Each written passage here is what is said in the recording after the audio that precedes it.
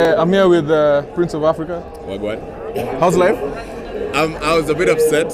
It was like, hey, today has been a hard day. Uh-huh. Um, but I'm just glad Perez is number two. You know, it was a very, very difficult race- race for us Red Bull fans. Uh, we'll give it to Hamilton. You know, home race, so he needed to be there. Shout out to you know Guanyu, we saw him walking, so at least he's sour.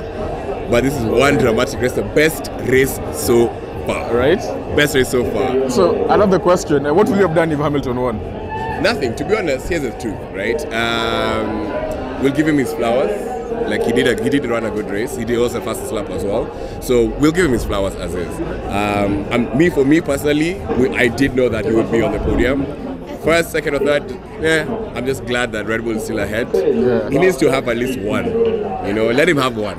All right. I'm not upset about it. I'm not upset about it. and then tell us about your experience today. What do you think about like us doing this live? This, this, this is amazing. Um, the fact that you know every race you can come here at Junction and just connect with other fans. You know, Formula One has really, really grown in Kenya for the past five years. So it's really, really good to see at venue and, and you guys, you know, being able to be here and showcasing this to the world. So you guys are at home, man. If you guys want to vibe, forget when you're going to watch football. This is nah, that's nothing. Forget about the Premier League. Forget about all this. This is Formula One right here at Junction. Best place to watch it. Thanks.